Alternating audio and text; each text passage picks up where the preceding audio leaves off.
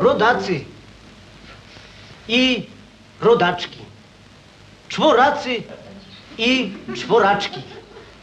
Dość już tych kabaretów politycznych, tych kawałów abstrakcyjnych i całego tego memułania. Weźmy przykład z Majewskiego. Ten nie memła, ale jak coś powie, to boki zrywać.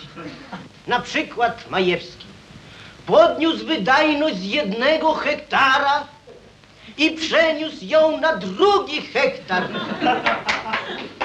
My też podnieśmy, postawmy, niech se stoi.